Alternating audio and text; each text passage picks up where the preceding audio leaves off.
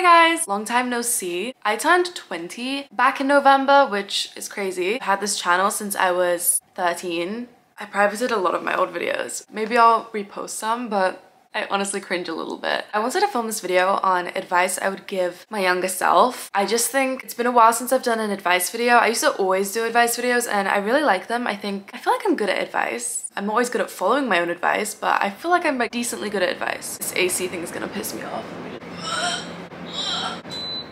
Yeah, I turned 20 and the last year of my life has just been kind of rough Obviously I've had great moments as well, but I've just had a lot of learning lessons. So I made a list on my phone, on my notes app, of around like 20 things, there might be a couple more, but about 20 things I've learned in my 20 years of life that I really wish I could tell my younger self. Without further ado, let's go ladies! Number one, falling down, having bumps in the road, messing up, going through obstacles is actually a great thing and a very, very necessary part of life. I know it sucks when things don't go your way. When life just feels like it's crumbling down, it's actually not a bad thing. I ghosted like everyone for months because I was doing so bad. And it took so long of me sitting down moping, feeling sorry for myself. I mean, understandably, I had my fair reasons, but it was more of me just being like, why me? Why is my life so hard? I'm actually really so blessed but everyone has their problems. But I'm learning so much and it's the journey of understanding how to pick yourself up that's gonna make you go so much stronger. It just helps give you tools to work through other hard things in your life. Life is just full of shit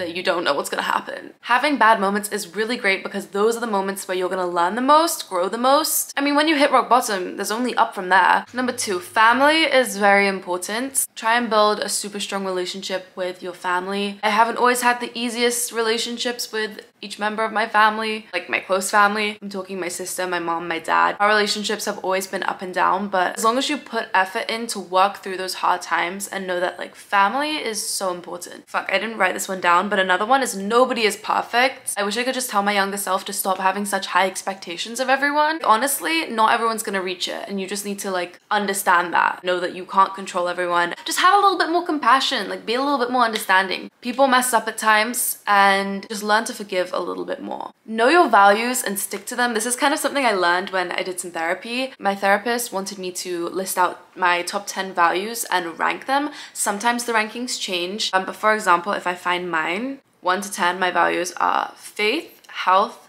discipline, emotional stability, freedom, friends and family, career advancement, loyalty and trust, diversity, and adventure and spontaneity yeah, take that as you will, but learn to live your life according to these values. For example, I don't know if my sister is gonna get annoyed at me for sharing this. Please don't. I everything's cool now. I love you. For example, I was in a therapy session and I was telling my therapist about how I was really upset. My sister owed me like $100 or something. And honestly, it wasn't even about the money. It was more just about the fact like, it was more of the concept. I'm not gonna go in the whole into the whole situation, but it was more about like the concept of the situation and how I just felt. It was more of like a trusting thing. Like I felt like she broke trust. And my therapist was like, okay, look, I can see that this is very much bothering you. It was really causing a lot of resentment from me towards my sister. And I was just really torn because I didn't want to feel that. Like I wanted to be close with her, but I just was really struggling because I had all this built up like anger. The therapist made me go back and look at my values and she was like, okay, well, we clearly see that which of my values did this situation kind of interfere with? Family and friends and loyalty and trust. To me, family and friends go in my ranking above loyalty and trust. The therapist basically explained to me that I need to figure out what's most important to me, holding this grudge because of the like loyalty and the trust thing that I felt upset about? Or do I just need to let it go? If it's really not affecting me, like I don't really need this $100, you know? It was more of the concept. Or I just let it go so that I can have a good relationship with her and it will stop interfering with like the friends and family. And at first I was a little bit hesitant, but I was like, you know what, this kind of makes sense. I decided to just let it go, try and build a good relationship with her anyway. And honestly, I'm really happy I did so. It's just like one of the situations as an example, but anything, any obstacle, any good thing, any opportunity, whether it's a job opportunity, whether it's a relationship, if you're ever put in a situation where you're not sure what to do, go to your values and see how much it aligns with your values. Next is only you can change things, not the person who's giving you advice. This one took me actually a very, very long time to kind of understand. I love watching advice videos just like this. They motivate me and they're great to watch because they are motivating. But at the end of the day, you watching these advice videos it's not gonna do anything for you if you don't actually apply them to your life and listen to it and take action. I mean, you could come to me for as much advice as you need and I could give you like all the helpful best pieces of advice in the world and it still will not make a single difference to your life until you decide to put in the effort to change things. That's something that I really had to learn the hard way. Because these past six months when I was struggling so hard, I would call my mom in the middle of the night in England and I would just call her bawling my eyes out, like crying so hard, being like, I just feel like life is never gonna get better. I have no hope. I'm so stressed. And my mom would sit there and she would give me advice. And I almost started feeling really bad because it's like she would give me all this advice and things just weren't changing. It wasn't because there was anything wrong with her advice, it was just because I wasn't doing what I needed to do to fix things. And this kind of goes into my next piece of advice, which is you can't control other people's actions. Same thing with if you're giving your best friend advice, stop going back to this toxic boy, he's just gonna cheat on you again. Give as much advice as you want, but at the end of the day, you can't control other people's actions. It's the same thing with if you have a boyfriend and you have bad feeling that he's gonna cheat on you. Like you cannot control what he's gonna do. All you can control is how you react. You can tell them, hey, this is how I feel, this is what I want, this is this, but there's only a certain amount of things you can say. At the end of the day, you can only control how you react to situations. I learned this last year, it's really important to just put up a barrier sometimes because I would get into fights with my mom. I wouldn't like the way she was reacting to the things that I would say and I would get really upset. Just sometimes you need to put up a little emotional barrier, a little emotional wall. Learned this in my therapy. Just like not let it get past my bubble. Like, okay, you're gonna act like that, that's fine. It's not gonna ruin my whole day and I'm still gonna be able to move on and like get through my day and do my shit and get my shit done and then I can come back to it after and talk about it but it's not gonna like affect me. Because before like if I got into any sort of conflict with anyone I cared about my mom a boyfriend it used to really affect my entire day. I would be a bitch to anyone who I was around. I couldn't get anything done. I couldn't concentrate. And that's normal you know? It affects you. You have to learn how to put it aside sometimes and just deal with it later because life comes up, you know, you gotta work, you gotta get stuff done anyway. You can't let other people's actions stop you from living your own life. India, younger India, listen up, please. It is okay to have a routine. I used to be so against routines. My mom would be like, India, you need a routine. I'd be like, no. But now I love routines. And it doesn't mean my day goes the same way every day. No, my day is very different all the time. Especially with being a model, things come up. I can't really plan things out straight all the time. Casting will come up randomly or I'll get a text about a photo shoot the day before. What I mean is to just have a routine as in like things that you do every single day. One of my little like routine things is every morning I wake up and the first thing I do is brush my hair and teeth and then I go make myself a cup of hot water with apple cider vinegar, lemon and ginger. And I sit and I journal one page of my journal. I drink my tea and that's like one little thing that's part of a routine for me. This helps me feel like I've got my life together. Next is sleep cures everything. Please get good sleep. I usually have to have at least eight hours of sleep every night. It just makes me feel so much better. I am way less of a bitch. My overall health is just so much better when I've got good sleep. Feel less bloated. Like, okay, sometimes going to bed after feeling like I overate a little bit too much and I'm feeling uncomfortable and feeling anxious, like I'll just be like, okay, India, just go to bed, go to sleep. Don't think about it. Don't punish yourself for it. Just go to sleep. Sometimes if I get like a good nine, ten hours of sleep, this happened the other day, I woke up and I looked at myself in the mirror. I was like, damn, like I actually, I look really good. Also getting good sleep is the number one way that you will see results. If you're on a fitness journey or a health journey, you'll see the results the quickest when you get good sleep, trust me.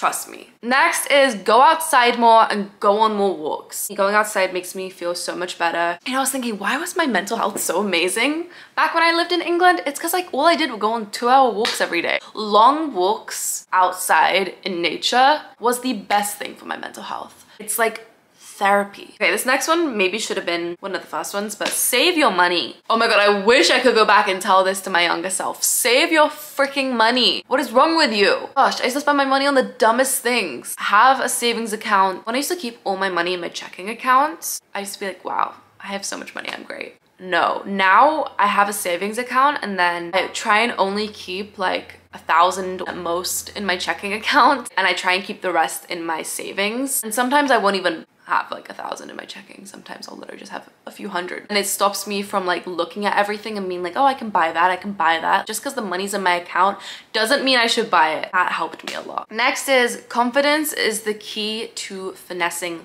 life. This one is so important to me because if you guys know the story of how I got signed to Ford, my modeling agency, it's just crazy. It was during like COVID time still kind of. Ford weren't accepting any walk-ins, but I just walked on in anyway. They were confused how I even got let up because there's like security. They're like, hi. I'm like, hi. Yeah, security let me up. They were really confused. Nevertheless, they were very happy and signed me. It was truly all because I just had this like confidence. Like sometimes people ask me like, do you do manifestation? And I guess it's kind of like manifesting, but I don't actually like actively think I'm doing it. In my head, it's like my life just isn't gonna go any other way. When I went to New York, I could have easily not gotten signed. In my head, it was like, okay, but it's just not gonna go any other way. Like everything works out for me. It's just, it does, it does. It's not even me saying that to try and manifest it. Like it just, it does. It was just my confidence. And another thing that really opened my eye up to, as to why confidence is, is such key, because I actually lost a lot of confidence my gag reflex gets really triggered anytime I talk about not having confidence. This is not a space where insecurities are welcome. None of us here are insecure, we're all very confident. Like really, I lost majority of my confidence. Like I did not want to be seen. I ghosted all my friends. I didn't go out just because I lost all my confidence. I literally haven't posted on my Instagram since last year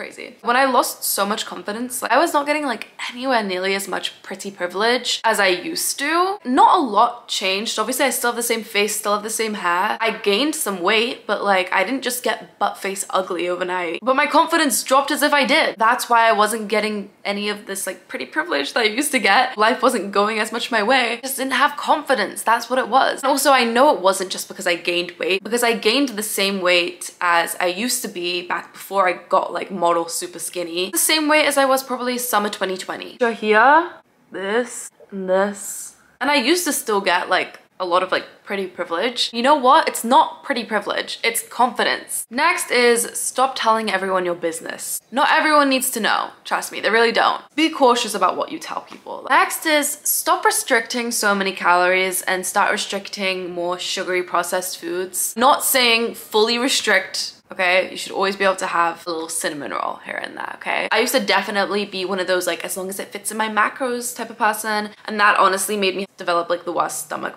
bloating problems because I would just use a bunch of fake sugars. Those things are filled with chemicals that are really bad for you, really ruin your gut. So focus more on like gut healthy foods, whole foods. If you want to use like sweeteners, go for honey, maple syrup, dates, things like that. Yeah, it's gonna be some more calories, but you know, everything in moderation. Not all calories are the same. My point is you don't need to restrict a bunch of calories. If you're gonna restrict anything from your diet, it should be processed foods. Next one I actually really like. It's it's okay to be bored. It's actually a great thing for creativity. It's therapeutic. Like this is something that I've always struggled with. I used to always just want something going on. Like I would get bored. Like, I used to think it was like a bad thing to be bored. It's not. Sometimes it's nice doing boring things like staying at home all day, reading or just going on a walk kind of like a dopamine detox, I guess. Be content with not always doing something crazy. Watch a little less TV. You don't need to scroll through TikTok for hours. India, I still have problems with, but getting better. Put effort into your living space. India, I'm talking to you. Yes, I still don't have a couch. Okay, but I am actually actively looking and messaging like different sellers. I found actually a cute one on um, Facebook Marketplace. I'm hoping that that comes. I ordered my rug. I'm about to order my TV stand. I know I've been living here for over six months and um, it's still not fully set up. Just got lazy, okay? Like uh, two months in and I just got lazy. So I was like, I have my bed. What else do I need? But it's just so important. Put effort into your space around you. Keep a tidy space. Whether that's an apartment, even if it's just simply your bedroom, keep your place tidy. Do a little bedroom clear out. Maybe change your room around. I used to love changing my room around. I would do it all the time. I'd move my bed and everything. It made me feel like I had a whole new room. I really want to make my own art for my apartment and do like a big painting. And have one right up here. And then someone comes in like, oh my god, who painted that? And I'm like, yeah me. But seriously, it, it makes a huge difference in your mental well-being. Next is nothing good comes from drinking alcohol. I kind of half take that back, cool to take that back, in the sense of like, I've had some fun nights with alcohol, I'm not gonna lie. Alcohol's given me courage to do some fun things. I've had some really fun alcohol nights, but let me just be clear, I've had a lot more horrible alcohol nights. I'm not saying I'm sober now, like I'm not, but I just cut back a lot and I don't drink very often. Learn to go out to parties and have fun without alcohol. If you're at a party and you need alcohol to have fun, then it's probably a really lame party and you should just go home anyway. Start writing a journal. I did this and I write one page every morning. It takes me about 15, 20 minutes. It's not always the most interesting shit, but it's like just write down like what I did yesterday, what I'm planning on doing today, what I'm happy about, what I'm not happy about. Next is make wholesome social plans with your friends more often. I'm not saying like you don't always need to go out to a club. Make more social plans. I'm mainly talking to myself the past six months because I ghosted everyone. It made my mental health way worse not socializing with anyone. Make plans with your friends. Go to lunch, go to brunch, go to the movies, paint, go on a hike, just things like that. Next is no contact is the best way to move on. Talking to you, India. After we all know I got cheated on in 2021, I did not stick to no contact. The longest I did was like two weeks at a time, and it just made it so much harder to break up. It took me a whole extra year before I finally went like fully no contact. 19 is set boundaries in every relationship and literally do not care if you think you look crazy or psycho. Obviously, let it be reasonable. I truly believe that one of the main reasons why I got cheated on was because I set no boundaries. It's always little things being pushed at a time until until the big one stepped over. It's a very thin line. You want to stay far from it. Everyone's gonna have their own opinions. Like some people don't mind if their boyfriend hangs out one-on-one -on -one with another girl. Other people hate it. And I think it all comes down to the situation. My point is just set boundaries. And lastly, 20 is Start forgiving yourself for mistakes faster on the condition that you must learn from it. If I made a mistake, I used to just dwell on it so much. For example, food, binging. If I binged, I found that I beat myself up for it. I would hate myself for it. Sometimes I would go as far, trigger warning, as to like harming myself for it. I mean like being sick. I would just say horrible things to myself. I would look myself in the mirror with disgust. And that's no way to treat yourself. And you're wasting time. All these days, what I do is I forgive myself immediately because I also find that if I don't forgive myself, then I get into this other emotional whirlwind and then I would usually binge and cover up those emotions. So instead, it just works out for me best to forgive myself quickly, but then take a step back and I think, okay, where did I go wrong? What triggered it? What can I do next time? That's just an example. But I mean, it goes in a lot of ways in life. Like you're gonna make mistakes. Just forgive yourself. Don't dwell on it, but learn from it. Make sure you learn from it. Inspirational. Anyway, that is gonna be a wrap for this video. I love you all so much. Once again, just wanted to, what's it called? Highlight the one piece of advice I gave that was you could listen to as much advice as someone could give you, but nothing in your life is gonna change until you actually decide to make the change. I love and missed you guys so much. Thank you for watching. Bye!